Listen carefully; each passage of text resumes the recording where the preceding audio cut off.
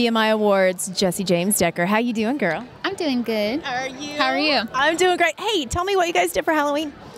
Well, we all dressed up as a family. So I was Wendy. My son, Eric, aka Bubby, was Peter Pan. Vivian was Tinkerbell, and my husband was Captain Hook. That's amazing. Yeah, it was really fun. My husband came out with it. I was very surprised and very impressed with his creative techniques. Yes. Uh, but we went trick or treating, got loads of candy. It was awesome. How long did they last? Did they have a meltdown at some point? Like, okay, I'm over this. My son had a meltdown down quite early on. My daughter could have trick or treated until like one in the morning. She really was partying until 10 o'clock, which is really late for kids.